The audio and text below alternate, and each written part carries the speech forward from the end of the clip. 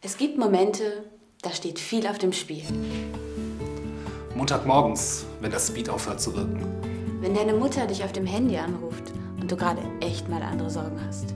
Wenn du mitten im Sex an Angela Merkel denken musst, um nicht zu früh zu kommen. Oder an Rainer Brüderle. Als Politiker arbeiten wir hart daran, unbeschränkte, willkürliche Macht zu erlangen. Das Richtige ist nicht immer das, was irgendwer sich gerade wünscht. Das Richtige ist, was wir uns wünschen. 8,2 netto fürs Nichtstun. Kokain auf Krankenschein. Bestechungsgelder von Großindustriellen. Sex unter freiem Himmel auf der Luxusjacht. Das ist keine Selbstverständlichkeit. Das wollen wir uns gemeinsam erschleichen. Sehen Sie sich diese Frau an. Ihre runden, vollen Ideale. Schauen Sie auf diesen Mann, seinen gigantischen, prallen Intellekt. Talente wie wir dürfen nicht an den Arbeitsmarkt verschwendet werden. Das wäre nicht gut für Deutschland. Können diese Augen lügen?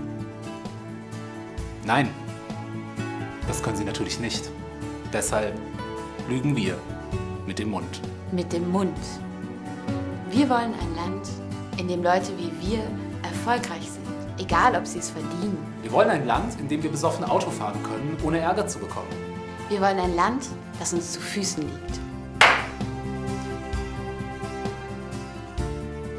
Dafür versprechen wir ihnen alles, was sie sich wünschen. Abschaffung der Sommerzeit. Nie wieder GEZ-Gebühren. Sicherung des sozialen Friedens durch Ecstasy im Trinkwasser. Kostenloser Ökostrom aus den Eingeweiden von Peter Altmaier. Bedingungslosen Ehrensold für alle Bundesbürger.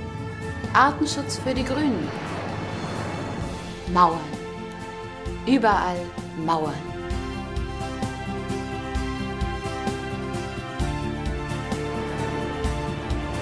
Das Bier entscheidet.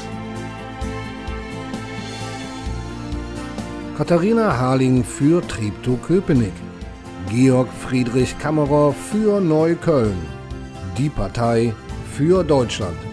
Am 22. September beide Stimmen für die Partei, denn sie ist sehr gut.